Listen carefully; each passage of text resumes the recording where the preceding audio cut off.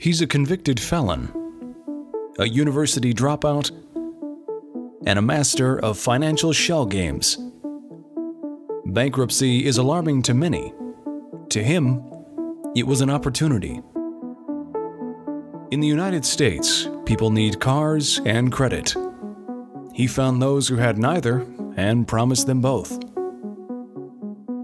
Eventually, after numerous ups and downs throughout the 1990s and early 2000s, he managed to stabilize his company's assets and build one of the most recognizable used car brands in the country and amassed a net worth of $18.4 billion.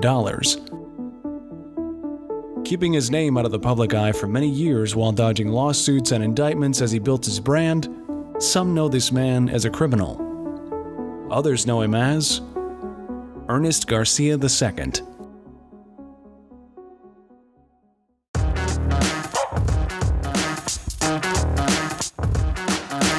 Money Talks, Wealth Whispers. My name is Connor, and I am fascinated by billionaires. How did they get so rich? Why is it so hard to get there?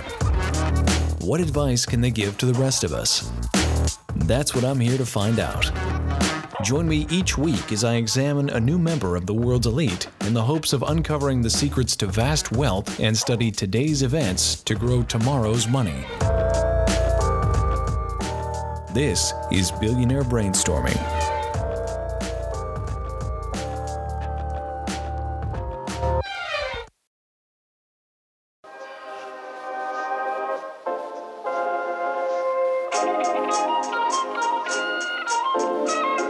Mr. Garcia's career as an entrepreneur has certainly been colorful. In 1990, he was found guilty of bank fraud when Charles H. Keating and his associates were indicted by the state of California on 42 counts related to having duped customers of the Lincoln Savings and Loan Association into buying worthless junk bonds of the American Continental Corporation. Garcia, who willingly cooperated with the proper authorities, received a $50 fine and three years probation from the California Supreme Court. Undeterred, Garcia bought Ugly Duckling, a bankrupt and failing rent-a-car franchise for less than $1 million in 1991. This is where he builds his initial wealth. The subprime lending game turned out to be very profitable for Garcia, he sold cars to those with poor credit scores at high interest rates, quickly raising $170 million in the mid 90s after Ugly Duckling released their IPO in 1997.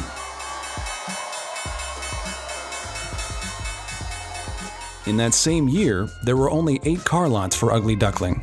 However, in 2001, that number had jumped to 77. Unfortunately, Garcia's quick rise to the top was about to be met with detriment, as in late 2001, he was forced to take the company private due to plummeting stock prices after the events of 9 11 that year. Things did not improve for a little while after this, as he frequently ended up in court suffering lawsuits due to questionable financial practices such as using his position in Ugly Duckling to sell 17 of the company's properties to an independent investor group and later leasing them back to the company. Shortly after this, Garcia purchased the properties himself at a 10% discount. However, he did offer the company a chance to purchase the properties from him at the discounted rate, but the offer was rejected since he had reportedly given $7 million of his own money to Ugly Duckling. Not long after going private in 2001, Garcia hired Raymond Fidel, who later became his CEO, who was also involved in the Keating scandal of 1990. Garcia also changed the name of the company to its more familiar alias, DriveTime Automotive. DriveTime operates under the same principles as Ugly Duckling sell used cars at high interest rates, but lower initial costs to those with poor credit. This model sounds wholesome on the outside, However, some consumer protection advocates argue that companies like this, who both sell used cars and finance them, often put their customers in cars they cannot afford. It certainly does not help that DriveTime suffered an enforcement action from the Federal Consumer Protection Agency in 2014, costing them $8 million for, quote, harming customers by making harassing debt collections calls and providing inaccurate credit information to the credit reporting agencies. DriveTime has since modified their practices to meet federal compliance standards.